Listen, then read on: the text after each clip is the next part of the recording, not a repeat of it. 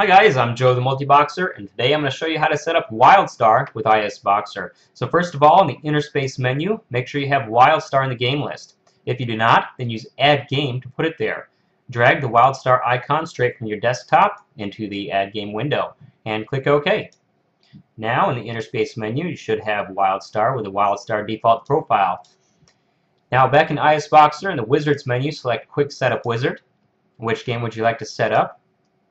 Wildstar.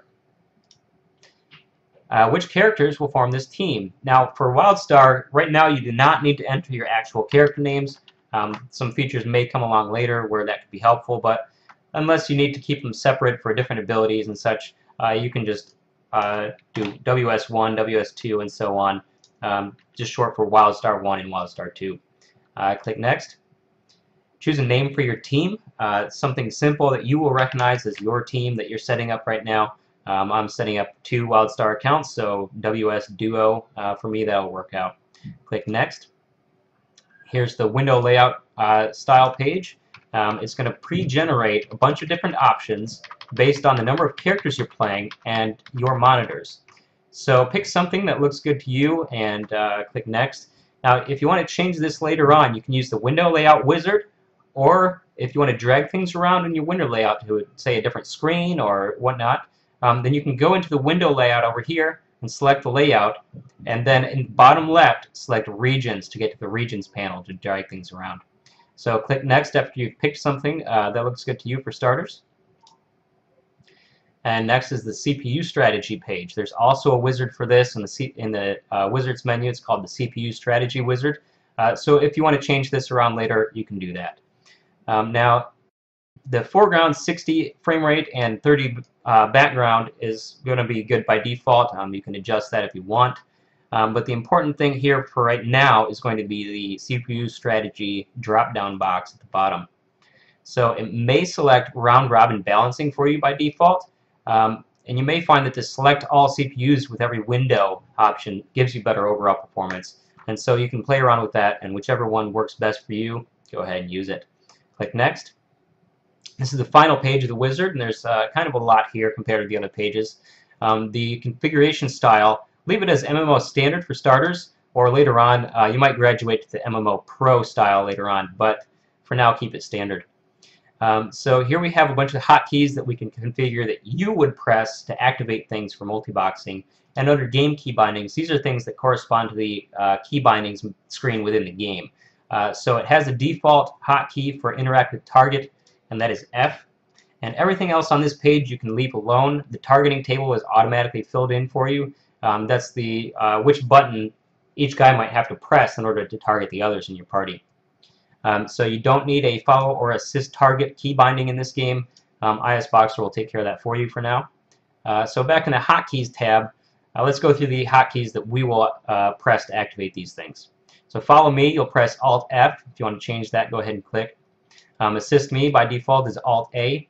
Interact with target, I'm going to set that to what I use in World of Warcraft, um, but you can set it to whichever key you like. Um, Alt J, and that'll cause the uh, the other windows to try to interact with, um, the what I have targeted in my window. So toggle broadcasting mode. Broadcasting mode is uh, going to enable mouse broadcasting and keyboard broadcasting. So anything you do or anything you uh, do with the mouse or keyboard, um, that's going to be broadcast to the other windows to make everybody do the same thing at the same time. Now most of the time you're not going to be using that mode while you play the game. So uh, for this game you also do not want to enable broadcasting mode starts on in all windows. Um, you can if you, you really want, but uh, don't do that for now. So toggle key maps and menu hotkeys. Um, at some point in time, you may need to disable the automatic broadcasting of 1 through equals, um, say to type in the chat window or enter your password or something uh, that is other than what they're hotkeyed to do in ISBoxer. So you use this hotkey, Shift-Alt-M by default, uh, to turn those off and be able to type in the chat window or type in your password or whatever else. If you want to set up a hotkey to go to the next window, um, just rotate between however many windows you have with one uh, hotkey. You can set that here. And um, if you have an Alt-GR key that you use to type in, say, the at symbol or other special characters on your keyboard, um, you'll want to make sure that this box is checked. Uh, and that'll make sure that ISBoxer doesn't set up any default hotkeys uh, that would uh, conflict with your ability to, do, to use Alt-GR. I don't, so I'm going to uncheck that now. Uh, down here, this is the last option here. Uh, automatic broadcasting 1 through equals, that's your standard hotkey or action bar hotkeys. Um, for WildStar, you only actually have 8, 1 through 8, um, and that's okay. If you don't want this to be broadcast by default, uncheck this box. Otherwise, you have the option of a visible, kind of a transparent overlay for the action bar. This will allow you to click those abilities or press the hotkeys. Um, and if you only want the hotkeys, you don't want that visible menu, um, you can go ahead and select the invisible option if you like. Um, I'm going to use the menu for the video and show you how to set that all up. So uh, that's it for the quick setup wizard. Go ahead and click finish. Now I'm going to show you another option here in the character set. Um, mute background, background game window audio and unmute foreground game window audio. Um, if you enable this, you'll only hear the sound from one window at a time. And uh, you can also have the option of going into the game and disabling the music. Uh, if you have that music on and you hear the, the uh, audio from all the game windows, music's going to be in a different spot in the different windows, and it might get kind of annoying. Um, so keep that in mind. You can use this option. You can change the sound options in the game. Um, I'm going to use this option for the demo. Uh, the last thing I'll show you before I get into the game is the menu, the standard menu, which the overlay for the action bar. By default, um, as you saw in the wizard, it's set up for 1 through equals, which is kind of a standard for the MMO genre. Um, so under the standard menu, go into the menu templates and click standard. And here you see it's got 12 buttons by default. So we'll just go ahead and set that to 8.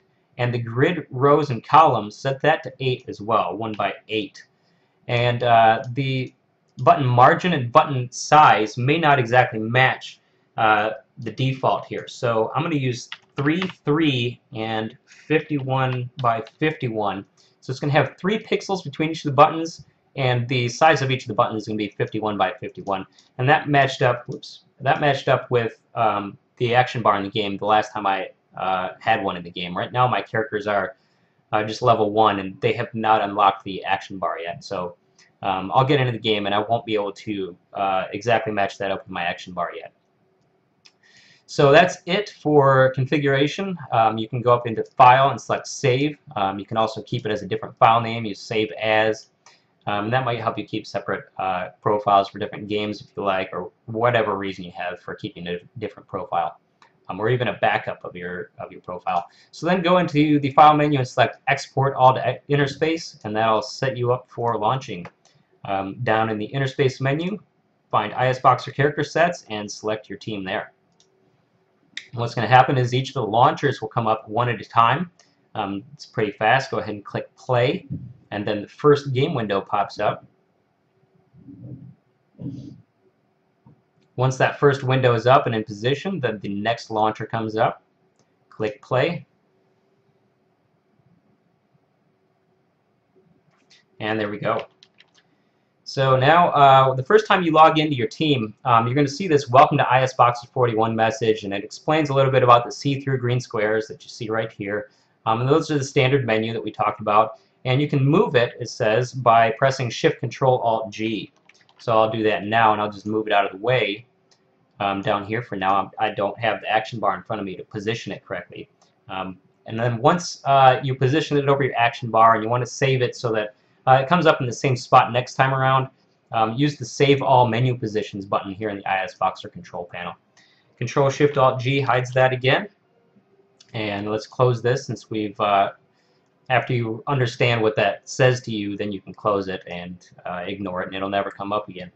So uh, enter your email address. You can use the Remember Email Address feature. Um, it'll store that separately per game window, so you're only going to enter your information one time. Um, but the, you'll always have to enter your password. So I'll go ahead and enter in my email addresses.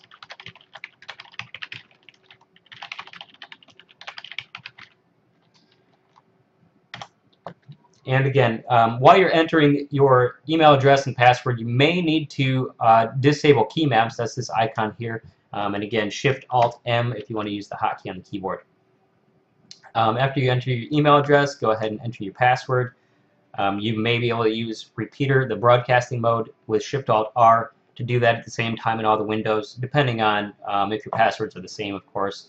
Um, that's not necessarily recommended, but uh, it's convenient. So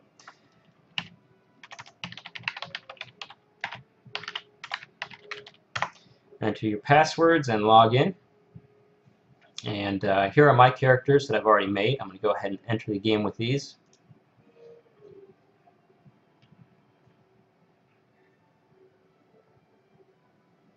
Now once you're getting into the game, you're going to want to turn broadcasting mode back off and turn key maps on. That's the other button here. And I'm going to move my uh, toggles menu straight up into the center of the screen, sync it there, and I'll go ahead and save my menu positions here. And I'll, I'll adjust the standard menu again later. Um, so the first thing you'll want to do, you'll have to get your guys into a, uh, a party in the game, um, slash invite, and then the name. Um, you invited your other character to the party. Now in the other window, whoops, that's the right name. You want to join? Yes. So now my guys are in a party. Um, they're not in the same instance in the area that they're in. So in order to get into the same instance, the guy that just joined the party has a sync to group button that'll put him in the right instance. So now both my guys are here in the same place, and so they can interact and target each other. And uh, here we go. So back on my leader, I'm going to try out the follow system. Um, Again, the hotkey by default is Alt-F. And you can see my other guy followed. I'll run this guy over here a little bit. Still following, good. And now uh, I'll try it from the other window. So both windows are following correctly. And let's do an assist now. Assist is where you target something. Say this guy here, Sick Exile. And now if I press Alt-A, my other window should pick up the target, and I can see down here that he did. He, he selected the same target. Now I can do the same thing from the other window. Just like with follow, either window you're in, uh, click something, press Alt-A, and in the other window you should see that the target changed. If I looked over there, there it is with the correct target. So that'll enable me to uh, walk up to something that I want to kill. I can press Alt-A in order to pick up the same target, start pressing the hotkeys 1 through 8 um, in order to uh, use my attacks and uh, kill that target. So we also talked about interact with target. Um, I'll see if I can find some way that's interactable. I don't really know that much about the tutorial area. Um, but uh, my hotkey for that was Alt-J, so if you find something, you should be able to uh, use your interact hotkey to uh, make everybody interact with that target. Let's see, that's, that's who I need to talk to right there. Getting some tutorials. I can close this and all the windows at the same time with broadcasting mode. Um, turn that off. And let's try uh, assist. Walk up to him a little better and Alt-J to interact. so they both interacted and the, the game gave me this little menu thing in both of the windows. And to interact with that, again, use broadcasting mode. And here we go. Click through whatever you need to do. And that's basically how that works out. So other than that, I'll check out the action bars screen and see if this matches up. Um, this is where you configure your action bars, I guess, and um, Control Shift Alt G. Let's see if this matches up with the buttons here. Yeah, that's pretty close. That should match up with action bars once I get them unlocked in the game. Um, as you can see, I don't have them at the bottom, so uh, there's nothing much to do. Um, but I can move that menu back out of the way for now. So, I mean, that's basically how to get started playing the game. Um, I don't know where to go in this tutorial area to actually kill something, or I would show you um, I might have to get another level or continue with these quests in order to, to find that. So that's how you get started. Um, follow and assist both work from any window. Um, you don't have to really configure uh, any in-game key bindings. Um, it's actually handled with copy and paste because um, you can paste into the chat window here. And so ISBox was just able to paste in slash follow or slash assist and that'll make your guys uh, follow or assist whoever they have targeted. So that's that's getting started with WildStar. Um, if you have any problems, any questions, come on down to the ISBoxer forum or the ISBoxer chat room, and we'll get you squared away. Thanks, guys. Have fun multi-boxing WildStar with ISBoxer.